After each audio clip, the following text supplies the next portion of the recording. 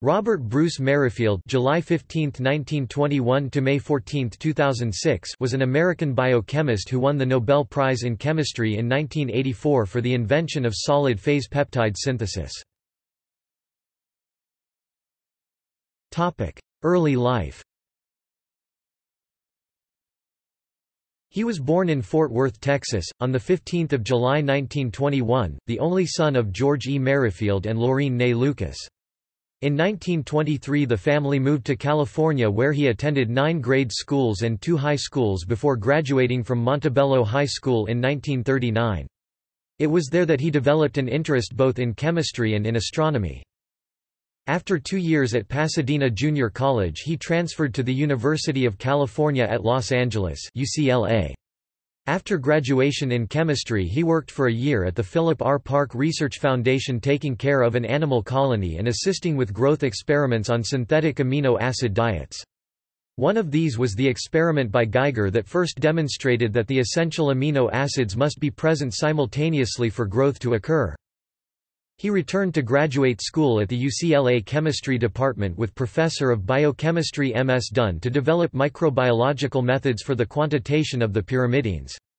The day after graduating on 19 June 1949, he married Elizabeth Furlong and the next day left for New York City and the Rockefeller Institute for Medical Research. Career At the institute, later Rockefeller University, he worked as an assistant for Dr. D. W. Woolley on a dinucleotide growth factor he discovered in graduate school and on peptide growth factors that Woolley had discovered earlier. These studies led to the need for peptide synthesis and, eventually, to the idea for solid-phase peptide synthesis SPPS in 1959. In 1963, he was sole author of a classic paper in the Journal of the American Chemical Society in which he reported a method he called Solid-phase peptide synthesis. This article is the fifth most cited paper in the journal's history. In the mid-60s Dr. Merrifield's laboratory first synthesized bradykinin, angiotensin, deamino-oxytocin and insulin.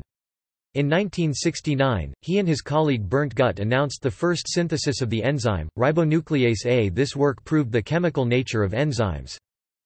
Dr. Merrifield's method greatly stimulated progress in biochemistry, pharmacology and medicine, making possible the systematic exploration of the structural basis of the activities of enzymes, hormones and antibodies. The development and applications of the technique continued to occupy his laboratory, where he remained active at the bench until recently. In 1993, he published his autobiography, Life During a Golden Age of Peptide Chemistry.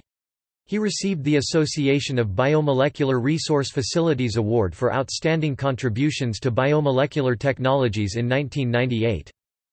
The achievement of synthesizing ribonuclease A with Bernd Gut was all the more significant in that it demonstrated that the linear sequence of amino acids joined in peptide bonds determined directly the tertiary structure of a peptide or protein.